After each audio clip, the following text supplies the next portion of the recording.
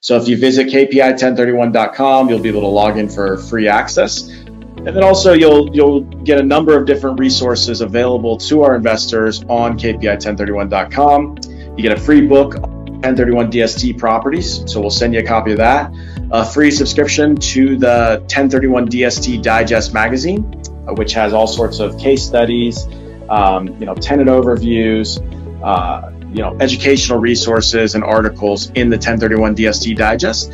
You'll get access to free educational 1031 DST conference calls. We hold uh, uh, host weekly conference calls every week with our investors on various topics in it uh, regarding 1031 exchanges, asset classes, uh, you know, financing, debt-free, uh, zero coupon offerings, you know, different strategies to use when thinking about a 1031 exchange into DST properties. You get very, very educational conference calls. We'll get you access to those.